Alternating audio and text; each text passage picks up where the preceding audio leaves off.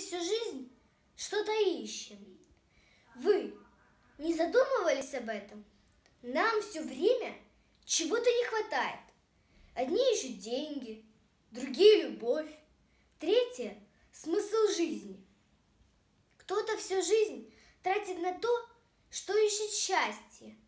Нам всегда кажется, что после чего-то необыкновенного и глобального мы станем счастливее.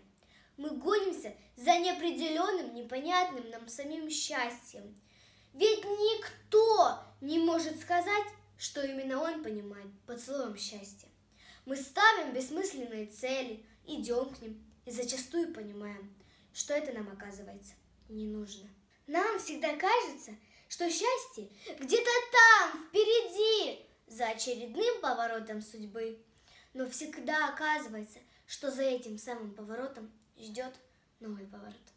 И так каждый раз. И это вполне нормально, что в 19 лет вам казалось, что счастье за поворотом 20-летия. В 30 мы говорим себе, что вот, я женюсь, буду счастлив. Спустя полгода для счастья потребуется сменить квартиру или машину. И вот уже 50. А то, что мы искали всю жизнь, так и не нашли.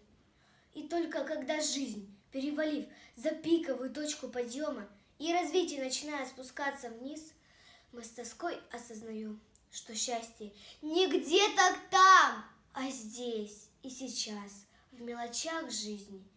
Но поняли мы почему-то это слишком поздно. Каждый из нас когда-то мечтал стать миллионером.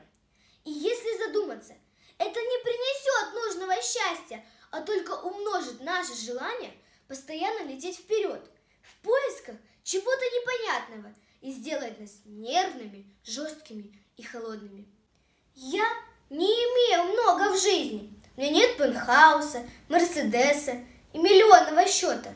Но у меня есть все необходимое для того, чтобы назвать себя счастливым человеком. Миллионер богат, успешен, но он ниже меня, бедного, потому что он не может замечать радости жизни в столь мелких деталях, как мы, обычные люди. Его терзают страхи по ночам, что его бизнес разорят конкуренты. Жена красавица уйдет к другому, потому что у него на нее нет ни времени, ни сил. Банк обанкротится и так далее. Получив желаемое в причем таком тотальном изобилии, он теряет цену и радость вещей. И я получаюсь выше его. Я бедна, но я свободна и счастлива. Я могу каждый вечер пойти полюбоваться закатом. Могу спокойно спать по ночам, не боясь, что меня ограбят. И покупая какую-то вещь, на которую зарабатывала или долго копила, или просто очень давно хотела, я на самом деле испытываю счастье. У меня есть люди, которым я могу сказать, как я их люблю, и они ответят мне взаимностью, искренней любовью, потому что не любят меня за то, какая есть и кто есть, а не за подарки стоимостью в полмиллиона долларов. А если задуматься, как часто мы говорим о чувствах своим близким? Как часто дарим цветы? Кто-нибудь, идя с работы или просто идя в гости к родителям, покупает маленькую безделушку, чтобы просто в обычный день порадовать близкого.